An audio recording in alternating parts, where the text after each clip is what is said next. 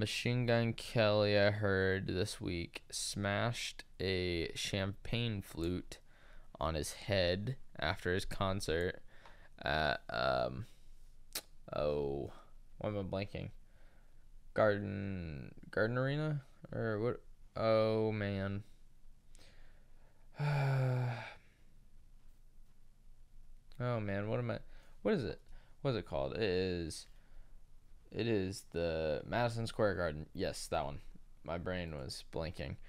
So after that, I I heard that he smashed a, a champagne flute. Apparently, about fell from the helicopter as he came in, and I don't think it was a real helicopter. I believe it was a prop helicopter, and uh, I saw that he yelled at some staff member and kind of stopped one of the songs midway, which he did kind of talk about there. And he's like, "Hey, you know, humans make mistakes. If I wasn't human and I didn't have emotions and feelings, you you all wouldn't be here. So it, stuff happens and doesn't always go to plan, or then you gotta deal with stuff, and sometimes you don't handle stuff correctly. So I guess he kind of lashed out on. I don't know if it was a worker or what exactly was going on with that one.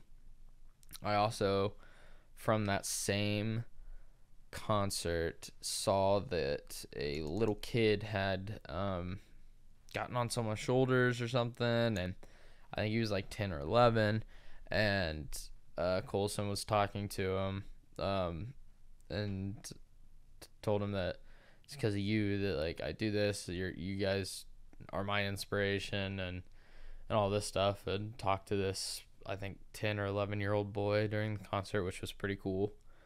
But uh, and then I've also seen something I don't know why this is in the headlines um, apparently, Megan Fox asked if Machine Gun Kelly was breastfed as a baby. Uh, I don't know why that's a headline.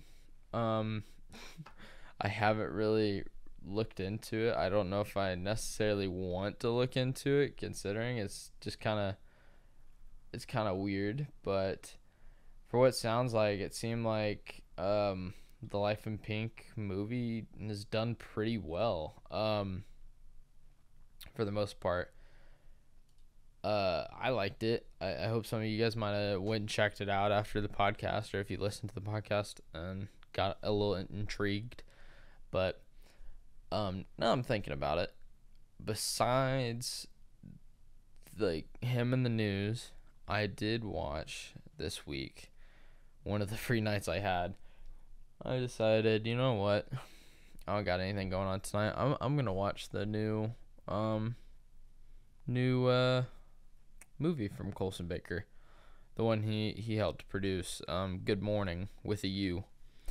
Um it's uh I'm not a critic, but it is uh different to say the least. It's uh definitely like a goofy stoner movie. Like it's not it definitely was not made to be a serious movie. I didn't totally know what it was going to be about or how how exactly they were going to kind of make the plot, but it's definitely a um, just like a stoner comedy.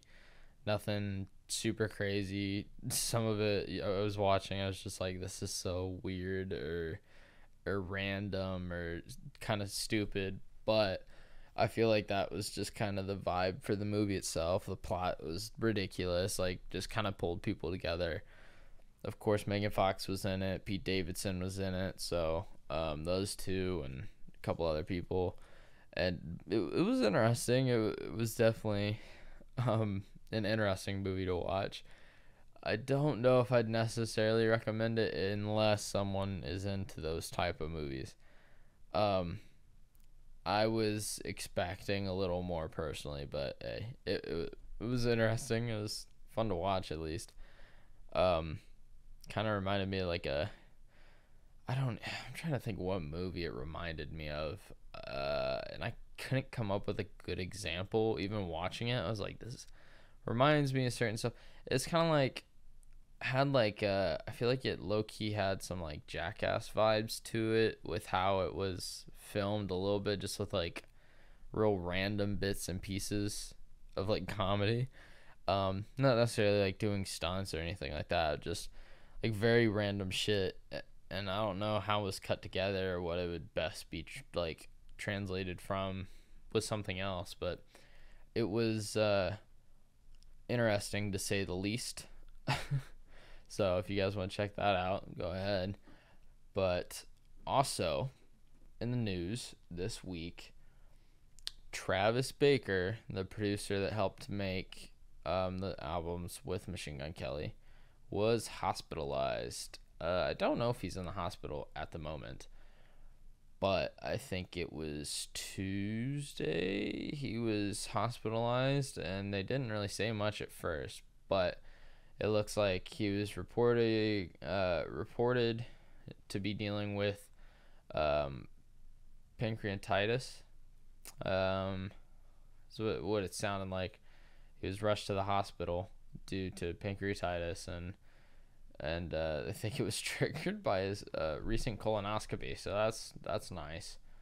So um, I, I don't think he's I think he's all right, but I did see that like I saw the headline and I was like, what the hell? Is like, why the hell is Travis Baker in the hospital all of a sudden? Like, just did this on him. He just released all this and it was kind of random and just kind of fell into place. Travis Baker is a little bit everywhere right now, considering the Kardashian TV show and now the stuff with Machine Gun Kelly came out as well.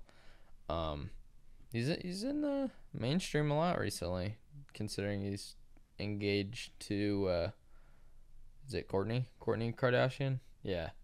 So it's it's interesting, but he was uh, hospitalized this this week, but he's all good. It's all right. No worries.